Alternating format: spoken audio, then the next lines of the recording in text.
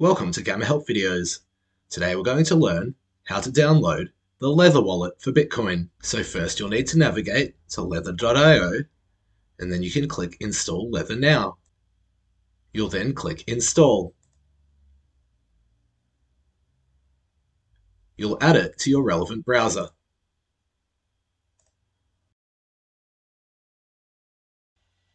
Once installed, you're going to create new wallet. If you already have a private key, you can click Use Existing Key. For the sake of this video, we're creating a new wallet. You'll be required to back up your secret key. You'll need to click Show Key and then write it down carefully, correctly, and in order. Remember that your 24 word key, commonly known as your seed phrase, gives you access to your wallet. You'll need this to access your wallet on a different device or if you lose your password. So please back it up and keep it somewhere safe. Do not keep a copy of it online or on your computer. It's recommended to write it down, make multiple copies of it, and never share your secret key with anyone. Please make sure you store it somewhere 100% private and secure.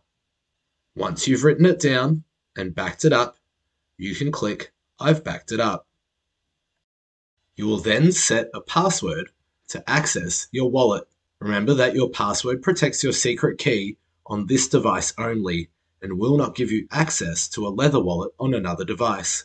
If you forget your password, that is where you'll need your secret key or seed phrase to get back into your wallet. It is recommended that your password is 12 characters or more has upper and lowercase letters as well as special characters.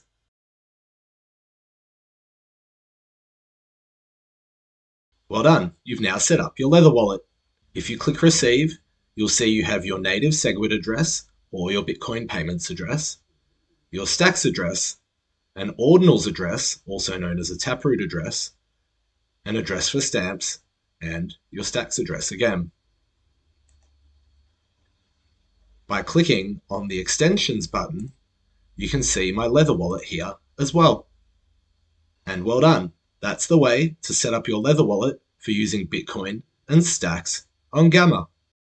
Thanks for watching. More help is always available at support.gamma.io.